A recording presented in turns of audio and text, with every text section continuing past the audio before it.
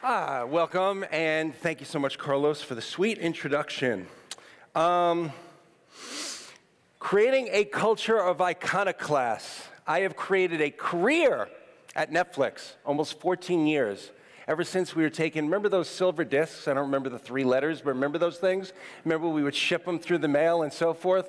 Well, them were the days when I started at Netflix. And back then, I fancied myself an iconoclast.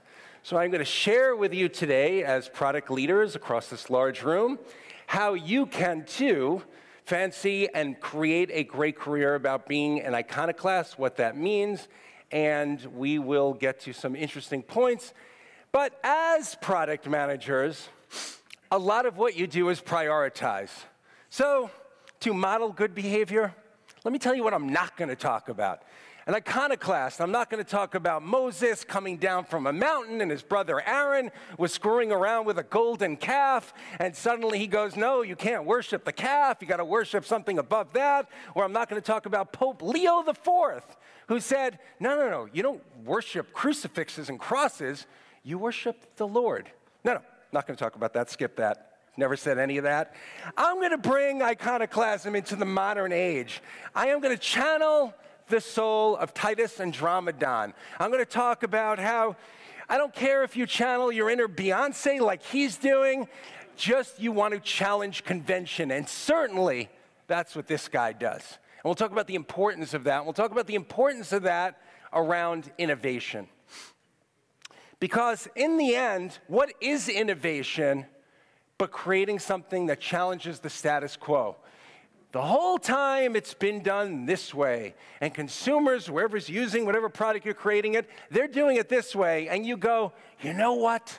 Maybe, let me do something crazy. Let me make my life and the life of the world a little more interesting. Let me try doing it this way. And that's what really you want to think about. How do you break the mold? How do you do something a little different? How do you spice it up? So, here's some fun. If you never heard of this guy, his name is Ai Weiwei.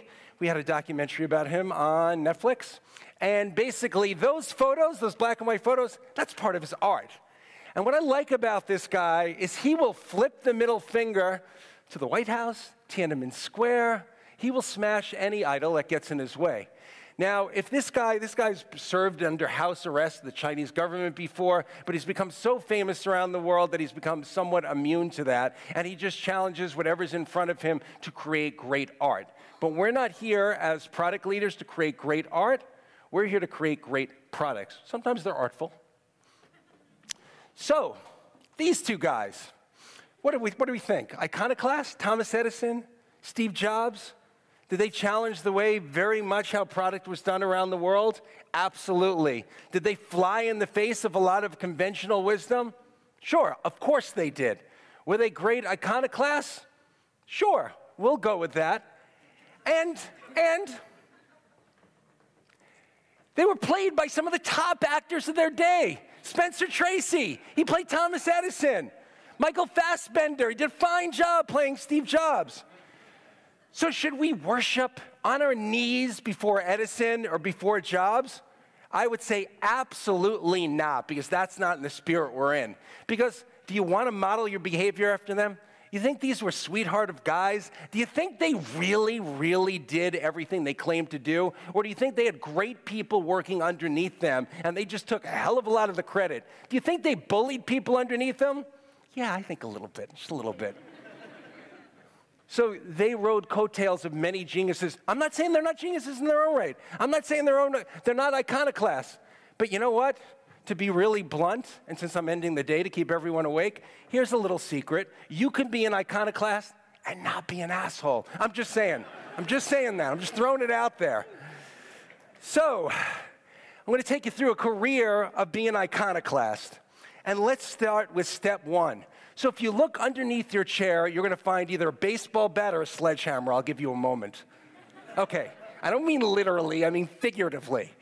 So, take you through a little journey, a mirror of what I've done in my career step by step. And I promise, do not genuflect upon any of this. The way I want you to look at this is just an example of a career with iconoclasm of challenging things.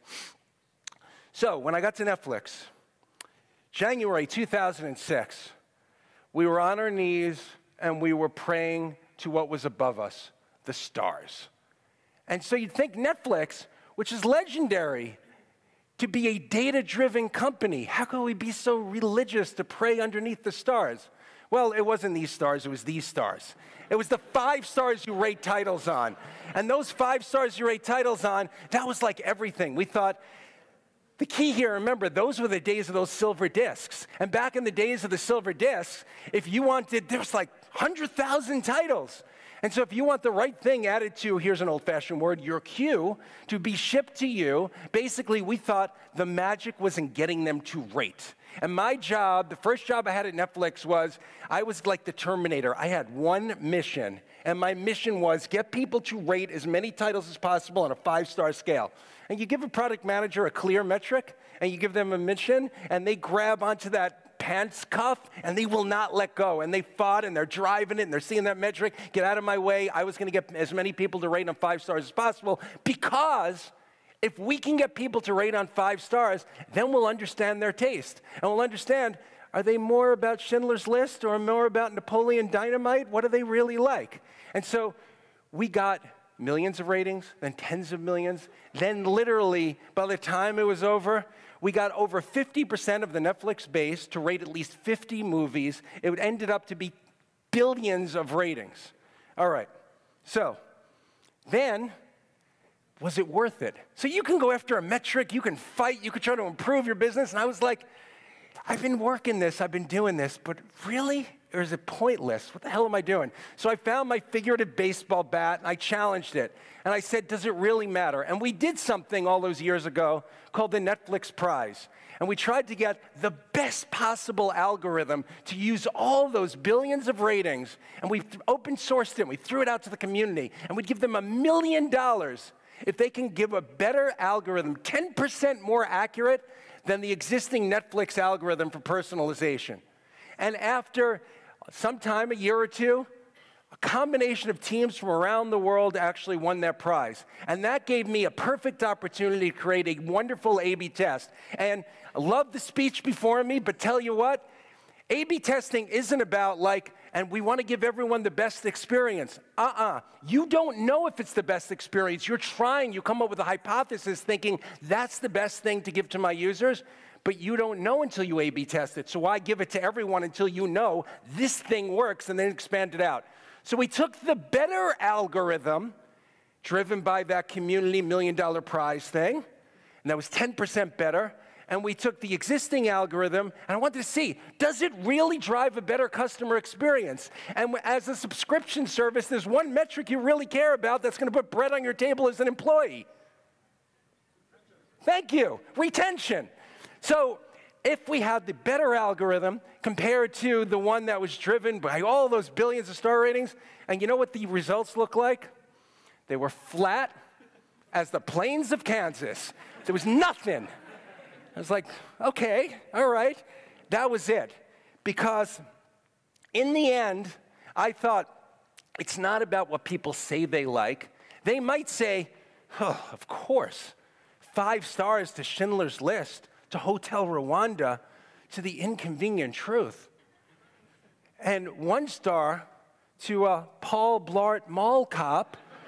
But that was a big title back in the day. If you haven't seen it, you might want to leave it that way. But um, in, in the end, they were really watching a lot more Paul Blart Mall Cop. So, you know what? Better than what they say they like is what their behavior, what they're actually getting shipped and watching, or in this day and age, what they're clicking play and streaming. It's helpful to get explicit information, but behavioral information, much more powerful. And thus, I drove the company and the product in that direction. That's step one. Step two is innovate, challenge, but in the end, don't do it yourself. Enlist others to run with your idea who could even take their brains and double down on your idea and are smarter than you and can run even faster. So I'll give you an example of that.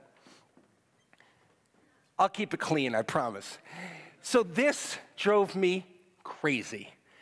This was back in the day before Netflix was doing those Netflix branded original content. We were all licensed content. And we had a nice deal with the Cartoon Network, and particularly, we were getting their catalog of Adult Swim. If you don't watch that, that's the late night kind of Cartoon Network content, really niche like, really edgy animation for adults.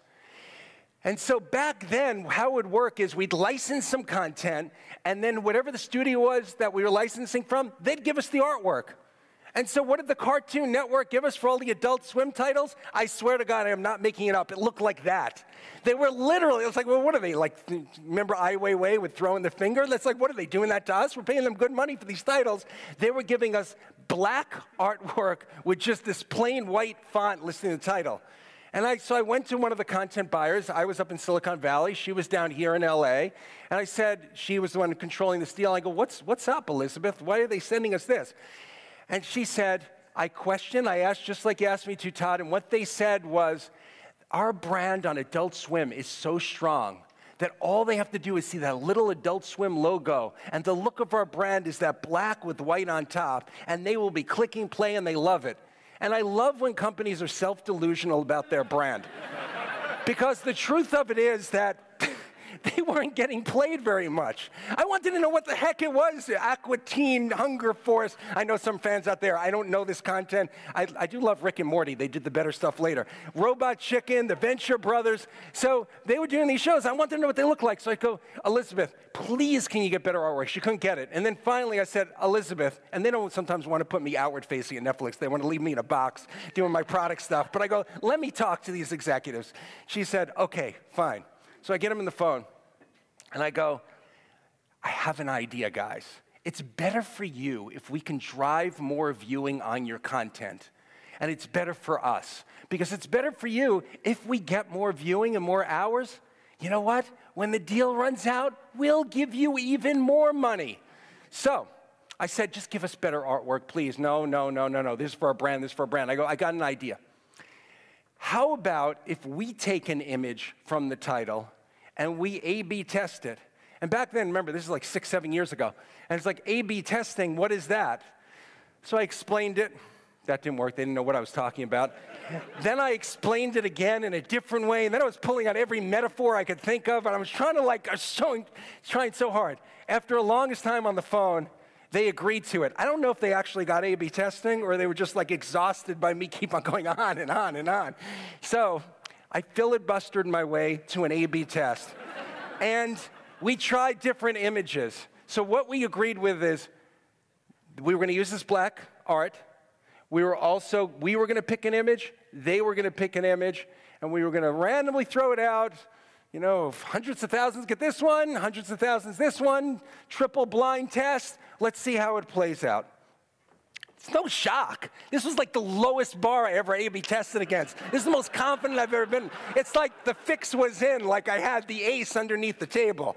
So yes, by using the art we picked, they tried to still keep that brand look with the same font and the adult swim. We screwed up with the title treatment and we used different art. And you can see from those metrics, just their art, using really an image from the show, drove the title by like over 50% more streaming. That's millions of hours.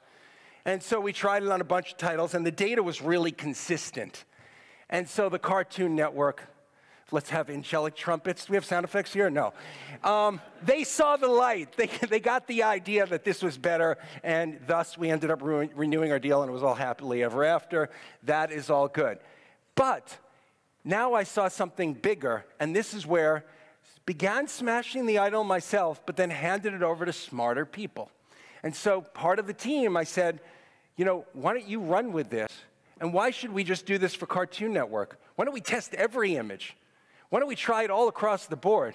So now, great people on my team are testing images all across Netflix. Now we personalize it, and every title gets artwork in 10, 15 different ways that each individual can get different art. Now we're starting to do with video promotion and trailers and so forth. So this became a big thing. So this was, I began the process, flipped the bat to very capable colleagues, and they ran with it. And this has gone, been a huge innovation for Netflix.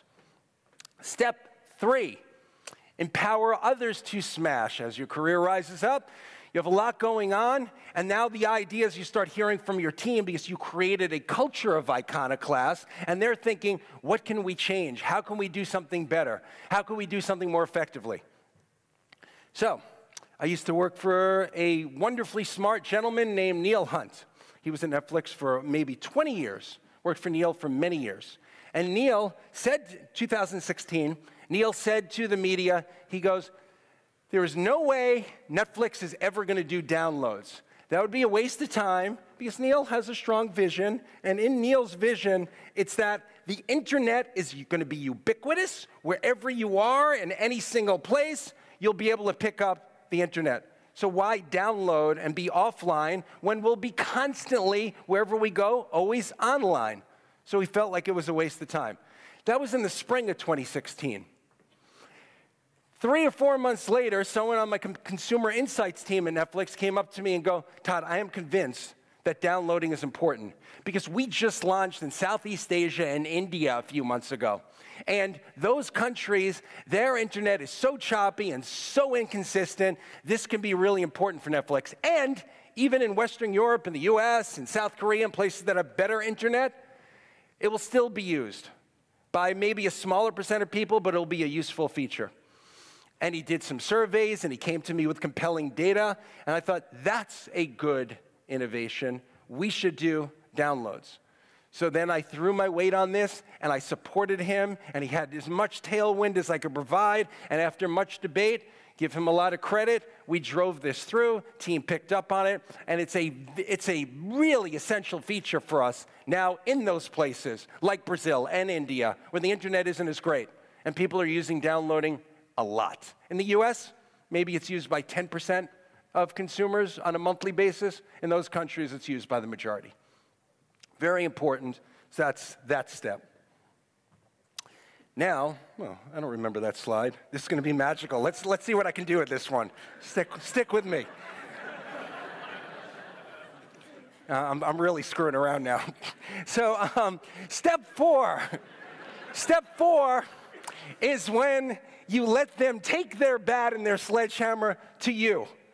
Now, suddenly, you start receding into the background. As a good leader, you start empowering your team. And to empower your team, they should be disrupting your ideas because suddenly you become the fossil, the person who's at the company 13, 14 years, who they wheel out for an occasional presentation, they lock back in the broom closet. the ideas now start coming from the team. And so now you have to have built up enough self esteem to go, let them challenge you. Let them come up with ideas that will, so because we'll try things, because we don't want that one, the legendary Steve Jobs, the great Thomas Alva Edison, because all the ideas came out of their brain, right? Wrong. And so you want to pull the brain from, you want to use everyone on the team and get the best ideas you can. So, this was a year, maybe a year and a half ago. One of the PMs we had, he was pretty new at Netflix. He had come from Amazon. And Amazon has a tradition of, you probably heard this before, at least many of you have, they write the press release before they even write a spec for the product. So they write this whole press release because the idea behind it is they, it almost like leans into success. What will this look like? What will everyone be saying about how great this product is for consumers, for whomever? So he did that because he was fresh from Amazon, and I'm open to it. We are not bound to any particular process. And if he wants to use some Amazonian witch doctor powers for me, go ahead and do that. So he brought in and he showed me this press release. And the press release, this was it, and he showed me is we are going to do a new plan in India, and it's going to be a mobile only plan, and it's going to be less than half the price of our lowest tier. And I was like, all right, let me explain why I don't think this is a good idea. And I was very patient and quite patronizing. I hope I wasn't. I don't think I was. But I was, I was patient. I was saying, this is why I don't think. It's going to bring down our ASP. It's going to bring down our average price so much that all the subscribers you're going to get and everyone else is going to downgrade from the highest plans. So we're just in the end, it's going to be revenue negative. Maybe we'll get more people subscribing at this much cheaper plan, but it's going to hurt the business in the bigger picture. So I thought, bad idea, but he was passionate. And the two things that I love most, the two qualities that I want out of any product leader on my team are passion and logic combined. And if he was passionate and he was logical, he was convinced this was going to work, okay, and then he laid out why. And I was poking, and I was, you know, I wasn't confident, but I also knew I don't know. A lot of this is guesswork. And so now he gave me the case of why he thought this would work, and we tested it. And you know what's going to happen now? It was successful. And now there's a mobile only plan in India, and we're going to try in a couple of other countries, developing countries, and it was big. And yeah, a lot of people did migrate to the lower plan, but it opened up the floodgates of how many people were joining Netflix and are joining Netflix, because this was only a few months ago when we actually launched it. So that worked. So consider me a smashed idol now, and that is a good place to be as a leader. And I'm actually more proud of that than when I was smashing idols. Why? Because I'm one person, whereas my team, much more leverage. I hire really smart people who are willing to smash idols. We can do better as a company. So, few kinds of things that I think are important to a culture to create a culture of iconoclasts? Set the table for dissent. Be open to it. Welcome it. Compliment it. Even if you disagree, thank people for their ideas when they don't agree with you. And politely disagreeing, that's a great place to be and a lot of good things to hear. Push decision making down. It's not like I told this PM, I'm deciding this is a bad idea, we're killing it here. It was more like, you're in charge of pricing and plans for India. You want to try it, go ahead. I'm skeptical, but I'm also curious and hope it works. Yes, I can be a loud voice, but I don't want to control the conversation. I want to hear the voices of the team. I want to hear voices of people in the company. And so it's important to create forums, and some people communicate in different ways. Some people love this game. Jeopardy. What's the key of Jeopardy? Well, just recent articles have come out with that guy, I forgot his name, who made that fortune of money. Not only did he know trivia, but even more importantly, he mastered how to hit the trigger, the button, to buzz in first before anyone else. And you totally know this from meetings in some environment. I, we used to be like this at Netflix years ago. We're not anymore, which is good. You're in a meeting, you're at a table, and there's a bunch of people here, and some people have the ability to know exactly when the person who's speaking is up to their very last syllable of their last word. And then, bam, they hit the buzzer. And then they get in their word, and then it's their turn, and they grab the floor. And you know what? Some of us good at it, some of us aren't. But you know, just because you're good at that silly skill, it doesn't mean you have the best ideas. It doesn't mean you're the only voice. It doesn't mean there aren't other good ideas. It just means you're really fast on the buzzer. And that's not a good way to be.